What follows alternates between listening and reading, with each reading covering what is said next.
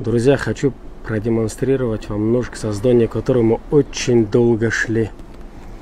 Это наш первый складник под названием «Три святыни». Тут мы при создании этого ножа использовали нержавейку, титан, золото, серебро, медь.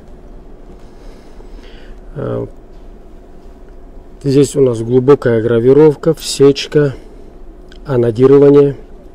Кстати, приданию такого цвета куполов у нас ушло очень много времени.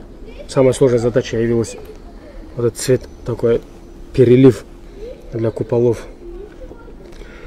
На ноже изображены три мечети. Это Алякса, мечеть Пророка и Кааба.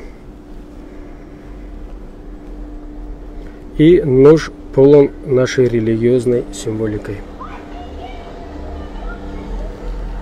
Это вершина пищевой цепи. Как-то так.